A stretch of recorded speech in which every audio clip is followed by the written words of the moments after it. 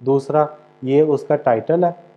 इसको आप अपनी याद दहानी के लिए चेंज कर सकते हैं। ये साइट पे नज़र नहीं आएगा, लेकिन ये फ़ाइल का टाइटल है। मतलब आपकी अगर दस फाइलें एक तरह की हैं तो आपने उन दस को डिस्टिंग्विश जैसे हमारी ये तीनों फाइलें एक तरह की हैं तो हमने इन तीनों को एक दूसरे से मुख्तलिफ़ करना है। तो हम क्या कर सकते हैं? ये सबका देख सकते हैं। आप जो नेम है टाइटल है, वो सबका सेम है। ये तो हम क्या करेंगे? इनका टाइटल चेंज कर लेंगे।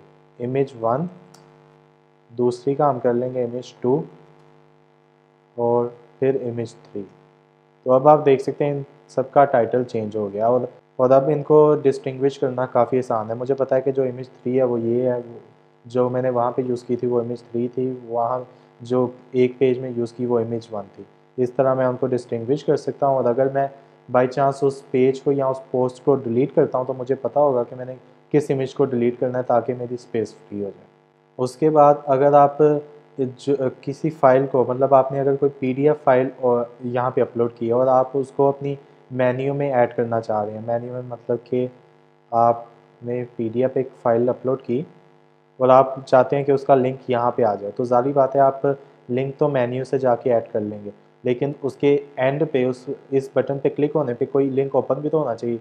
तो उस फ़ाइल का लिंक आपको कहाँ से मिलेगा, आप किसी टैब में आएँगे, उस पी डी फ़ाइल को सिलेक्ट करेंगे और ये एट द एंड ये आप देखें कॉपी लिंक यहाँ से आप उसका लिंक कॉपी कर लेंगे। ये वो लिंक है जो इस फ़ाइल को ओपन करेगा।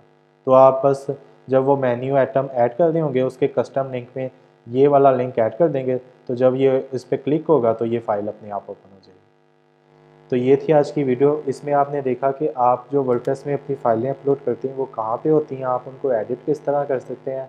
ये अल्टरनेटिव टैक्स ये आपकी एस पर्पज़ के लिए क्यों ज़रूरी है? और अगर आपने किसी फ़ाइल के यूआरएल को यूज़ करना है कहीं पर अपनी साइट में तो उसको आप किस तरह यूज़ कर सकते हैं? होपफुली आपको वीडियो पसंद आई होगी। काइंडली वीडियो को लाइक शेयर एंड कमेंट करिएगा। चैनल को सब्सक्राइब करना ना भूलें, ताकि आपको इस तरह की वीडियोस मिलती रहें। मैं आपसे मिलूँगा नेक्स्ट वीडियो में। तब तक के लिए अल्लाह हाफ़